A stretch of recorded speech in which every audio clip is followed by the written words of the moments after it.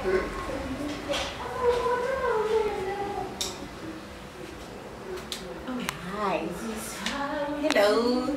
Hi, I'm Thabang. I'm Thabang Malaka. I'm. I'm an optometrist. I deal basically with eyes as you can see. This is my office. Um, I was assisted by NYDA to purchase the chair the table and other basic necessities, the desk and everything. They gave us uh, roughly 50,000 rands of the equipment that we have. Uh, basically, uh, that is that, the, the amount that we get, it was a very easy process to apply and they took us step by step until we really got, got where we needed to, to get.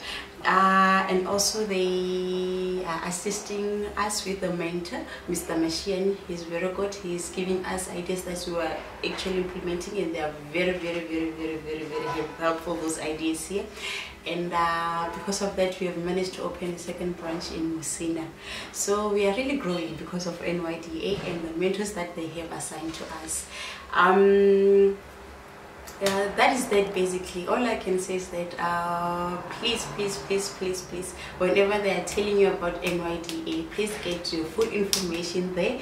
Uh, you'll get help. Whatever that you need you really you get from career advice um, money that you need to start up your business. They're available. They're there. They are caring stuff and they're very informative. So please get help